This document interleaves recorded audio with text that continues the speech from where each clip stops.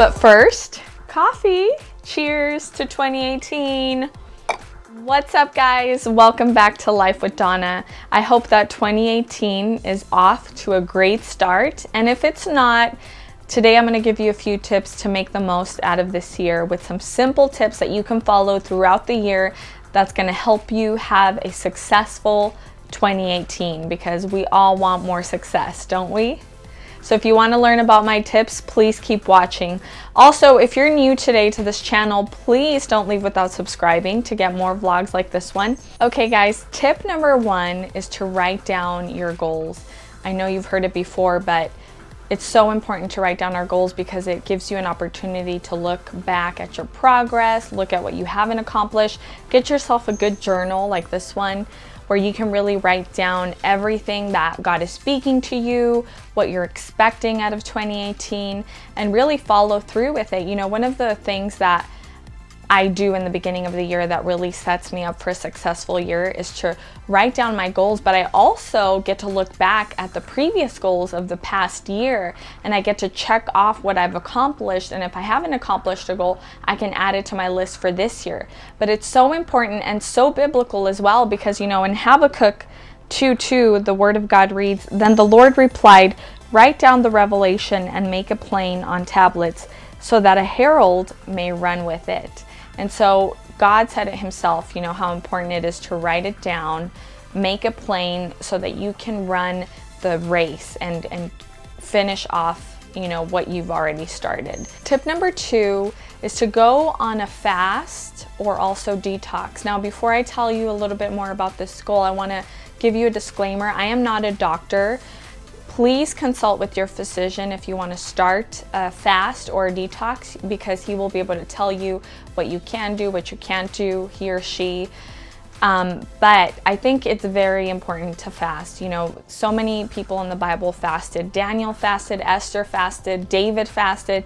You know, we have a lot of examples. Jesus fasted for 40 days and 40 nights. So, you know, it's over and over in the Bible, but it's so important because it draws you closer to God, who is the one that's going to help you accomplish all of your goals and all of your plans.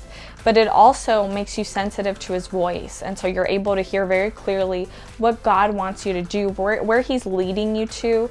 But also, it has a lot of physical benefits as well. You know, one of the major benefits of fasting is that it really detoxes your body, you know, because being American, you know, living in, in the US, you know, you we eat so many things that are really, really bad for us. We don't even realize that they're bad for us, you know, because it's man made stuff that has a, a big shelf life. And so, you know, when you're going on this fast, you're not supposed to eat any of that stuff. So, any processed foods, fast foods, especially, you know, you stop eating that for 21 days, which is the fast that I'm going to be doing, is a 21 day fast, and it really clears your mind. But I mean, there's so many other types of fasts you can do, even if it's just a one day fast, something that's really going to help you detox your body and and make it clear to see where God is leading you to. So I highly encourage you, but again, consult with your doctor before you do any fasts. Tip number three is to pray about a specific word you know, a few years ago, God showed me the importance of having a word for in the beginning of the year that's going to set you on the right path for the entire year. Now, this word is going to be a God given word that God gives you. So that's why I say pray about it because He's going to be able to show you what what this year is going to entail and you're going to be able to follow it and and it's just a simple way to look back at something that you already know God planned for you. Tip number 4 is to get more sleep. I think we underestimate the power that sleep has over our lives. I mean, we really need to sleep and take care of our bodies because that's going to make us more more um, efficient in the things that we're doing throughout the year. You know, doctors and you know everywhere you read that the minimum sleep required for us is about eight hours per day so I would strive for that. You know, I know there's people that can get by with less, but I just really want to encourage you that if you're not taking that time to really sleep and take care of yourself, that you should do that in 2018 because that's going to help you. It's going to help you be more active. It's going to help you strive for better and do better in everything that you're doing because you're going to be giving your body the proper rest that it needs. So get more sleep. Tip number five is to read your Bible every single day. I believe with all my heart that every single day God is trying to speak to his children. There's something he's trying to tell you every single day of your life. And so if you're reading your word, you're being open and receptive to what he has to say about you. But if you don't open it up, then you're never going to know what God's plans and purposes are for your life. Tip number six is spend more time with the ones that you love. There's something so special about spending time with family, with friends, people that you know have your best interest at heart.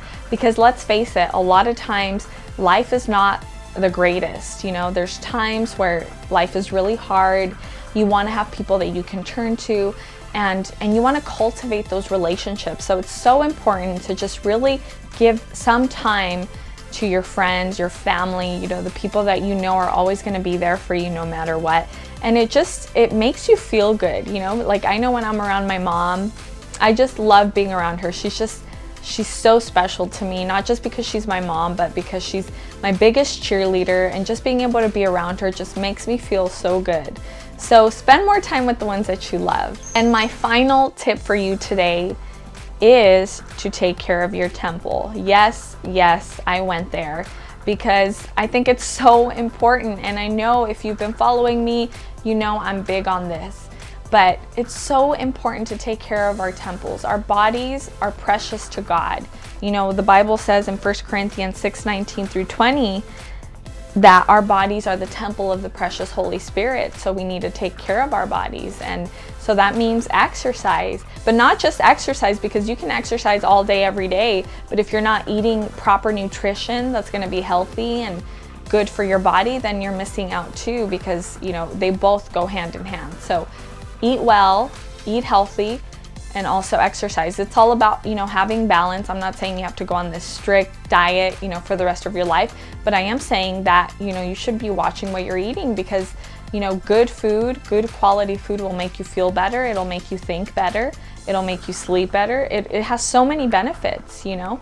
So eat healthy, exercise, and you're taking care of your body as you're doing it. And that is God's will for your life. All right, guys, well, that is all my tips for you today. Thank you so much for being a part of my channel, Life with Donna. I'm so excited that you tuned in today. I am believing God for amazing things for you in 2018. You know, I just, I believe that the best is yet to come for you and that we've only just scratched the surface. God has so much more in store. He is a big God. He is capable of big and mighty things that we don't even know of. But if we continue to have a relationship with Him and seek His face and trust in Him in the process when things get hard, that He has our best interests at heart and that He will guide us along the way, I promise you, you will never regret it. So thank you so much for tuning in. Don't forget to subscribe, and I will see you on my next vlog. Happy New Year! Love you guys. Bye bye.